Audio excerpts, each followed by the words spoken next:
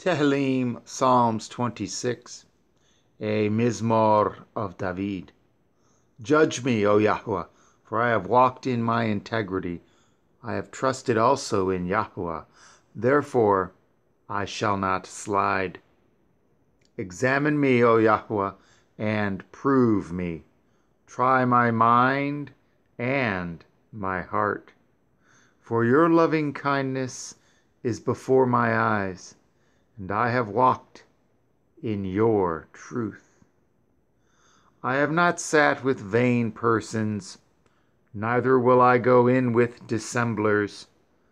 I have hated the assembly of evildoers, and will not sit with the wicked. I will wash my hands in innocency. So will I compass at your altar, O Yahweh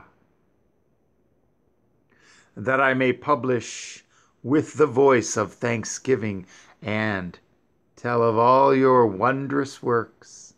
Yahweh, I have loved the habitation of your house and the place where your honor dwells. Gather not my soul with sinners, nor my life with bloody men, in whose hands is mischief and their right hand is full of bribes.